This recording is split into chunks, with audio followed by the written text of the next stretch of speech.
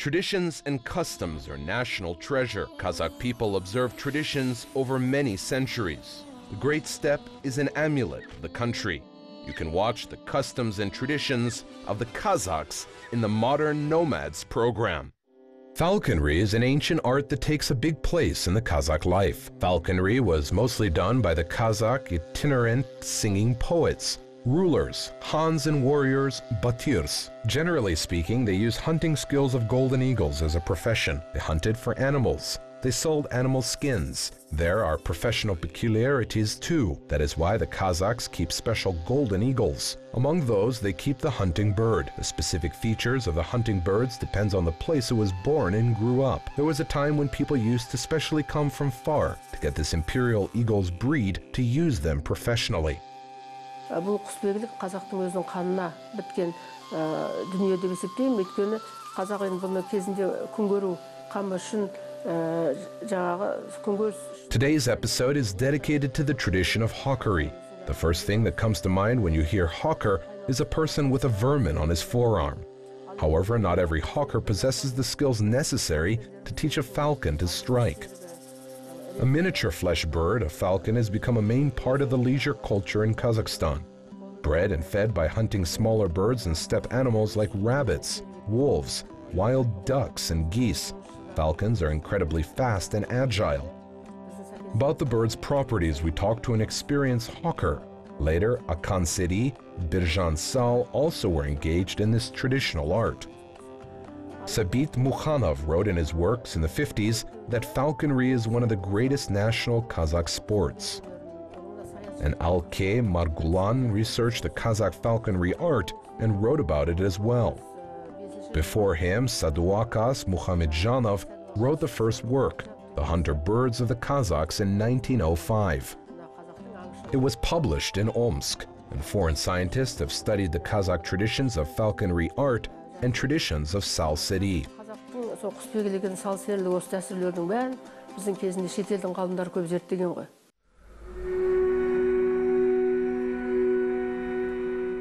Traveling and training birds are not a sign of whim. An old tradition of a nomad culture will lose its charm without the bird hunting. Masterfully training a bird to do what you want is the epitome of patience and connection to nature. Besides, it is extremely interesting raising, training, and enjoying hunting with a falcon. There was a legend about falconry art. Once, Qasim Khan came to Sarayishik and organized a dinner for his father, Janibek. There was a big feast as well. In the winter, the Khan crossed the Volga and the Ural. The 40 hawkers from Crimea, 1,000 hawkers from the Kazakh Sosak participated in the feast. There is also information about the Khan's hunting and the falconry was used among the ordinary people for food.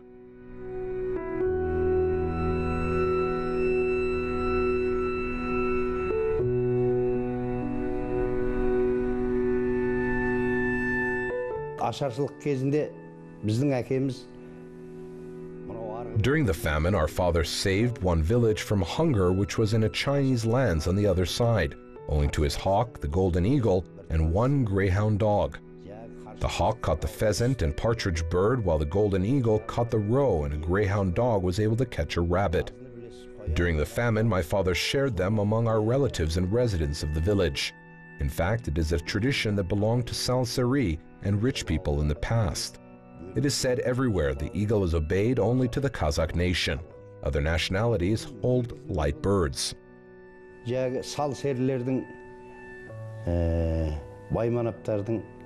Бұрынғы кезде енді ұстаған өнері ғой.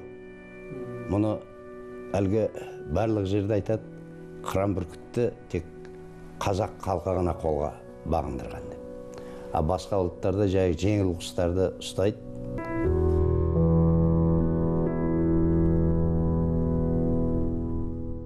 According to the ethnographer Ahmet Toktabay, the Hawkers considered themselves the important figures who were superior to other ordinary people.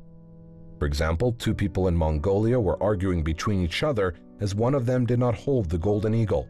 The hawker who had the eagle in his arm was very angry at his opponent. Nevertheless, the hawkers were not allowed to hunt so often.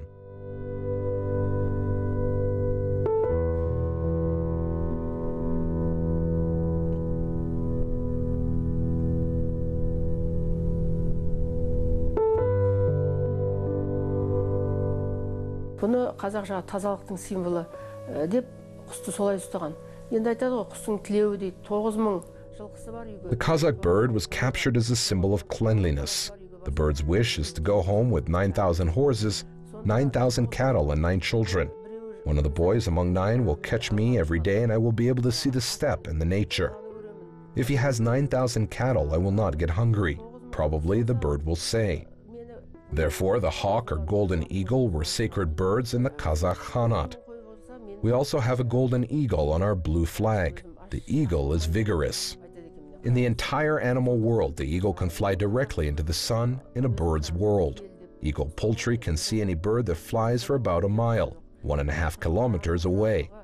Ә, ойлаңыз бүкіл ә, жануар дүниесінде жалпы құстың әлемінде күнге тікелей ұшатын ти- тікей қа- қарай алатын бізде қыран ғана ғой. Жаңағы қыран оның жаңағы көзінің өткірлігі сондай. Мысалы ана томағасын шешкен кезде қыран құстың мысалы бір жарым шақырым бір шақырымға дейін ол жаңағы жерде кетіп бара жатқан ә, жаңағы кез келген аңды құсты көре алады мысалы. Сон- соның қырағылығын айтады. Well-known ethnographer Jagda Babalik told there are 11 strong eagles on the steppes of Kazakhstan. Especially the golden eagles of the Altai Tian Shan Mountains are strong enough. They're able to hunt for foxes, wolves, and bears. Historically, Hunan's tribe used hunting as a military exercise. In the 5th to the 7th centuries, hunting was also widespread. In the vicinity of Jochi's horde, there were 3,000 eagle birds. About 9,000 eagles were around the Kublai Khan Orda. Among the Kazakhs who moved from the Chinese to the Soviet Union in 1962, there were hawkers who took hawks when they crossed the border. The descendants of this art appreciate this heritage art.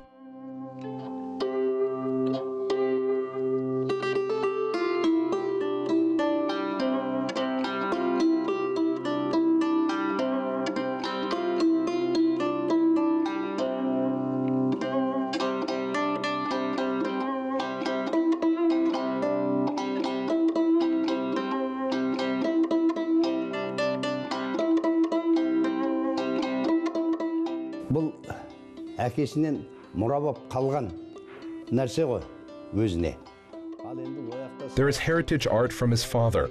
In China, he hunted with friends for about a month. It's as a hobby. When he came to the border, he said, I will not cross the border without my eagle. One eagle fed 50 to 60 houses near the border. Finally, the Chinese agreed to take the golden eagle to Kulja, registered and wrote a passport, and then he was allowed to take it with him. Содан болмағасын елу алпыс үйді енді ұстап жатыр бір бүркіт үшін. Сосын қытайлар келісіп құлжа қаласына апарып бүркітті тексеріп жаңағы тіркетіп паспорт жазғызып. Кәдімгі бір баласы ретінде алып өткен ғой.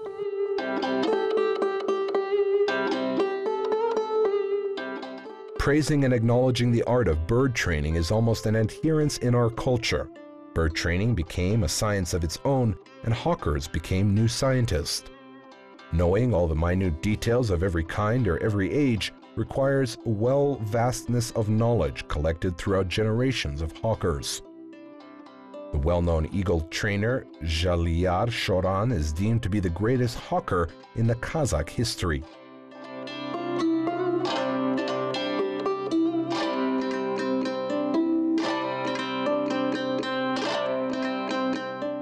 құсбегілер екі жағдайда алады түзде түзден жаңағы тор құру арқылы The nomadic lifestyle of our ancestors made us into natural hunters and hawkers. Owing to one falcon, one eagle, and one greyhound was a must. These days, it became more of a show. Harnessing the power of sky owners wouldn't be possible without the respectful attitude to its nature. Using the power to our needs wouldn't be possible without a hearty union. It's not interesting to keep a golden eagle, you have to train it, tame it, and put it into hunting because it's a step savage. It loves flying, which is why you have to constantly put it into hunting. Falconry isn't just for fun or taking photos and keeping it inside, which doesn't relate to falconry. It's a pity for the golden eagle. Тырысады бүркітшілер. Бүркіттің еркегі жаңағы домалақ келеді кіші келеді. Бұл жаңағы ә, еркек бүркіт жалқаулау келеді. Негізінен балан, балапанын асырайтын жаңағы ә, аңды ұстайтын ұрғашысы. Ана бүркіт дейміз ғой. Ана бүркіт өте мықты болады.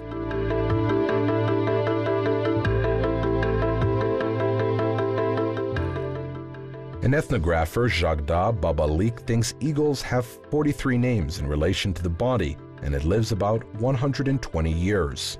But there is not any information about the age of the golden eagle. In 1905, a man whose name was Tusip found a chick of a golden eagle in the Yerin Kabirga mountain of Jungaria. He called it Karabalapan. This eagle was very fast and was able to catch about 60 foxes.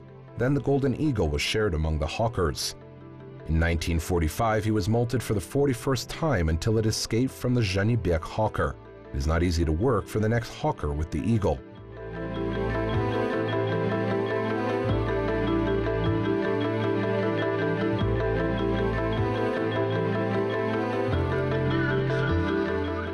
жабайы бүркіт қой оны көндіру үшін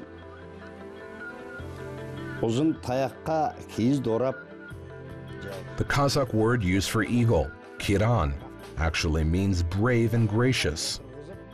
It is a word of description of the bird's properties. Kiran can be used to describe a person as well, and in either case means no less than daring and good-natured. No matter what bird you own, you will fail to find a friend more loyal. The stories of the vermin saving their owners' lives are countless in the course of the history of the friendship And a wild eagle needs time to be trained. Hawker eagles are not allowed to sleep, as during the time they train they will be given meat and trained to fly from the hand of the hawker. Then every day the hawker can take it inside the house with a reason to adapt it to people during the talk.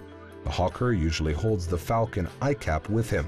Қызып, сосын қолға қонуға үйрен, үйренеді ұйқысын алып адамға өзіне қаратпаса бұл э, көпке кетеді бұрын бағынуы ұзаққа кетіп қалады Ә, сосын ә, мынау адам отырған жерге күнде үйге алып кіріп адамдар көп әңгімелесіп отырады ғой сол жерге тұмағасын алып ұстап отырады жаңағы халыққа үйренсін мына көпке үйренсін деп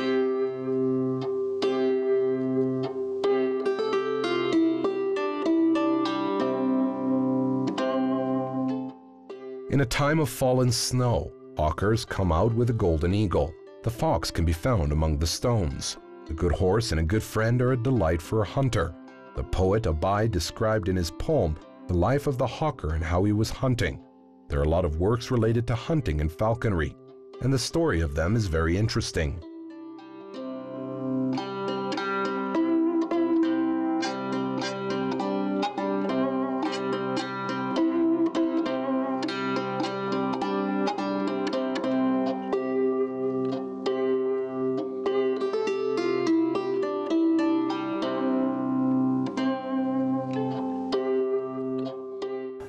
бүркітте өте ақылды құс о да біледі жаңағы қаяңды қалай алу керегін мына еліктің тәуешкі тәутекенің ең From the first day, if you manage to restrain yourself from introducing bad habits, the bird will grow smarter and wiser. Let's say you are feeding the bird, you put a piece of meat in front of it with its feet tied by the string.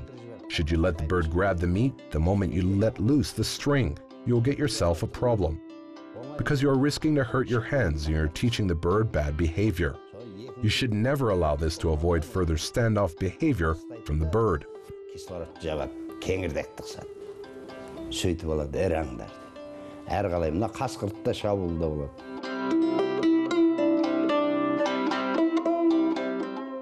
An ethnographer, Jagda Babalik, wrote that an ancient tradition of our nation was the love of the golden eagle.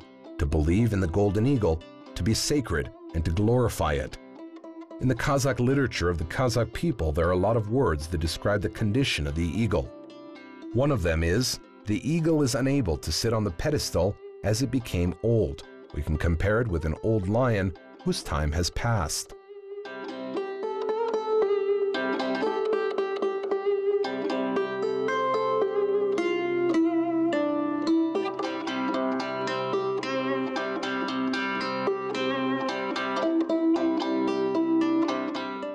киелі құс деп санаған қазақ мынау жәгі әкелеріміз айтып отыратын әсіресе мына босанамай жатқан An eagle is a sacred bird. Our fathers told us earlier that the woman gave birth to the child at home. If the woman was not able to give birth quickly, it was a tradition to let the eagle fly on that house for a quick birth. When an eagle was molting, the feathers were saved and they were given to the women who were not able to have a baby. They have been hanged on the head of the bed. There are also other rituals. It was considered as a sacred bird by the Kazakhs. сондай ырымдары бар енді бұл өте киелі құс деп мұны ә, сондай жоғары санаған ғой қазақ It is not allowed to sell an eagle, only it should be given as a gift. One day, Nugiman asked to take a golden eagle while visiting the village of Arinjan Januzakuli Kaji. Nugiman presented one of his bad eagles. Then Arinjan told him, Your eagle which was presented to me is not an eagle. It is just a black crow. Will I give it to my children? Kojikiem would give me a nice eagle. What a pity! I received another eagle. Then Kaji presented the best golden eagle with a chapan. Kazakh people called a brave man who's not afraid of anything Jurek Jutkan. The owner of the eagle gave the heart of the animal. It is called Toyat. The eagle which was fed will fly with joy. The guy who married recently will receive a wish as Kisin Kuti Bulsun.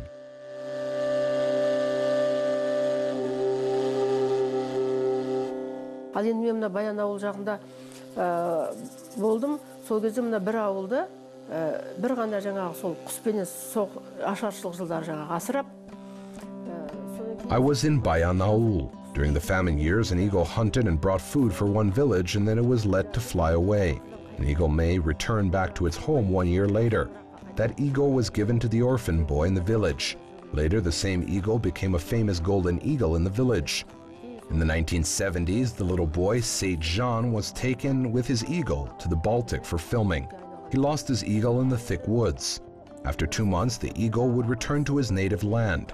An eagle never leaves its land and mountains. жетпісінші жылдардың ішінде ә, мына киноға түсуге о- осы мына балтық бойына алып кеткен бұл кісіні жаңағы өзінің ә, бүркітімен Ә, сол барған кезде жаңа қалың орманның ішінде бүл- бүркітінен ажырап қалып содан кейін кино түспей бұл кісі қайтып келеді ғой қайтып келгеннен кейін сол екі айдан кейін бүркіті ол кісі өзі осы туған жеріне жаңағы қайтып келеді бұл мына қыран құстың тектілігі бұл ешқашан өзінің тауын өзінің жерін жаңағы тастамайды екен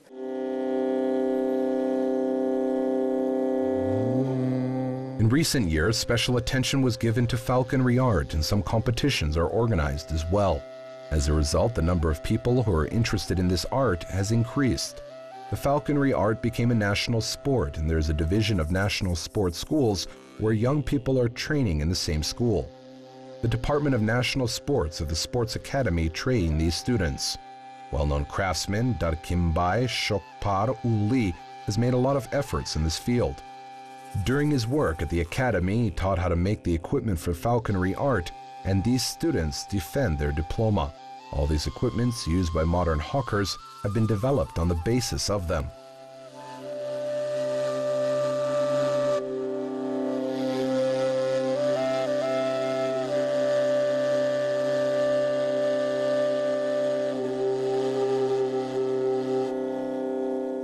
The school of Shora was founded in the Almaty region in 1987. It is now 30 years old. There is no elder among us, the founders of that school. But in 1997, we worked as a center for further development. The great ethnographer Jagda Babalik is the founder of the latest Hawkers School. Only 18 golden eagles were collected in the Almaty region from all of the Republic in 1997. None of these elders are among us, but owing to that school, falconry art was included to national sport. Currently, there are approximately 100 hawkers in our republic. Among them, only 30 are real hawkers, but now we're able to see the young generation's desire to master this national sport. The nomads stove to understand the essence of all things live and inanimate and communicate with it. The lifestyle and the climate with six months of summer and six months of winter required that the humans find harmony with their surroundings. Later, this necessity gave birth to the art of communication. The art grew into a tradition. Hawkery is one of the ways we try to communicate with nature that is left and it is to be revered and preserved for the future.